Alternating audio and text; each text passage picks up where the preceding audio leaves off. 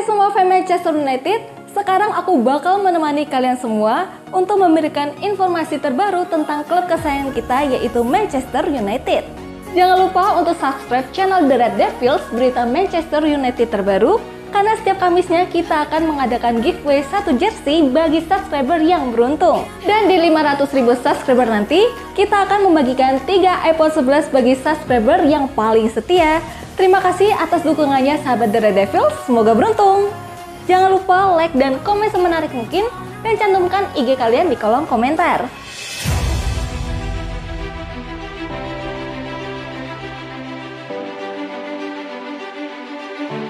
Erik Ten Hag puji karakter MU usai kalahkan Real Betis.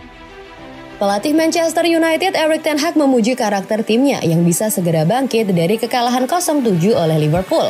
Empat hari setelah kekalahan memalukan pada Senin 6 Maret 2023 dini hari waktu Indonesia Barat, MU menggebuk Real Betis dengan skor 4-1 pada pertandingan leg pertama 16 besar Liga Eropa di Old Trafford.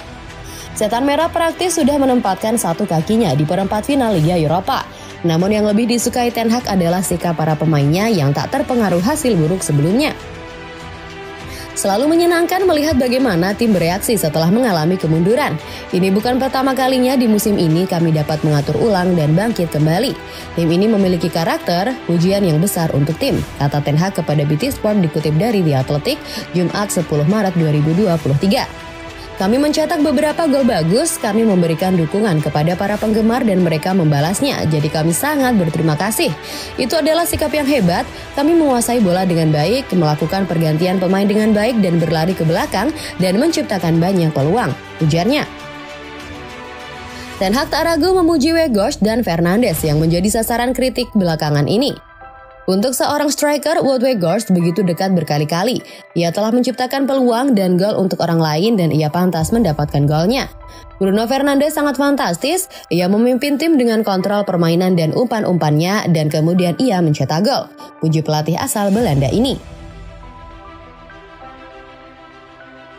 Alasan Wout Weghorst menangis usai cetak gol keempat Man United kontra Real Betis.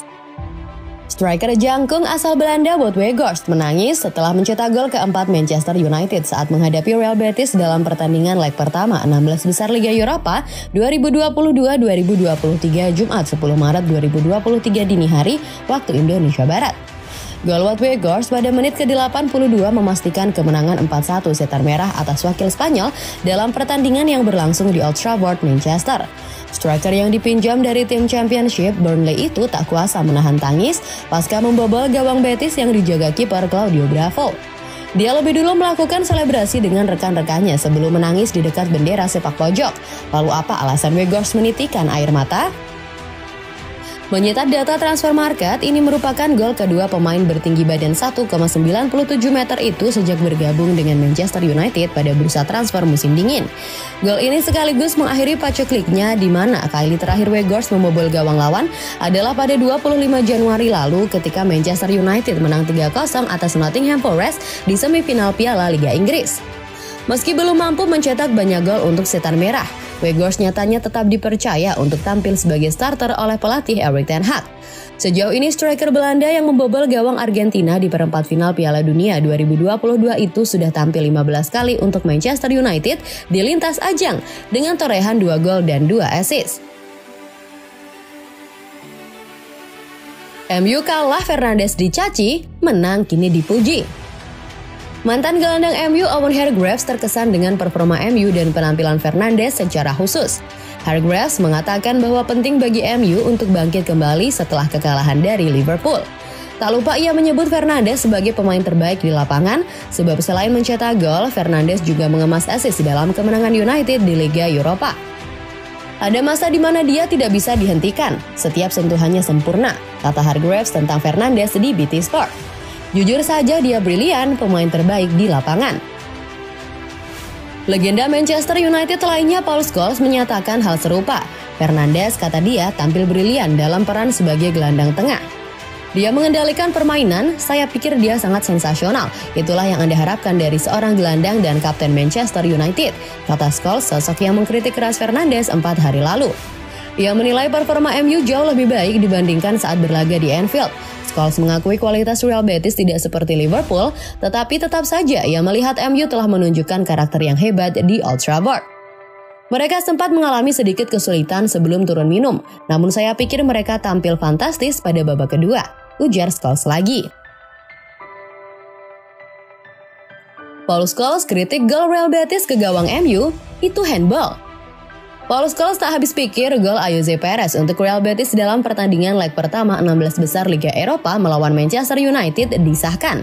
MU keluar sebagai pemenang dengan skor 4-1 dalam laga di Stadion Old Trafford Jumat 10 Maret 2023 dini hari waktu Indonesia Barat, tapi satu gol Betis tersebut mengganggu Scholes. Gol tersebut disahkan setelah pemeriksaan VAR untuk potensi handball oleh Juan Mi dalam proses serangan balik yang mengarah ke gol Perez. Penyerang Spanyol itu terlihat mengontrol bola dengan bantuan lengannya dalam momen yang dianggap tidak sengaja oleh wasit yang tidak memicu pelanggaran sesuai aturan permainan karena dia bukan pencetak gol. Namun Scholes berpendapat berbeda, dia mengatakan kepada BT Sport bahwa itu handball dan bukan tidak disengaja. Scholes meminta melihat arah lengan Juanmi. Jika Anda melihat dengan seksama, saya pikir itu menyentuh lengannya terlebih dahulu. Peraturan ini bodoh, bukan? Handball adalah handball, itu adalah handball yang menyebabkan gol dan seharusnya dianulir, kata Scholes dikutip dari Evening Standard. Mantan rekan Scholes di MU Open Hargreaves setuju karena menurutnya hal yang masuk akal jika gol tersebut dianulir. Bahkan jika Anda bermain dengan rekan-rekan Anda dalam sebuah pertandingan latihan di lapangan, Anda akan mengatakan itu handball. Peraturan-peraturan ini semakin konyol, kata dia.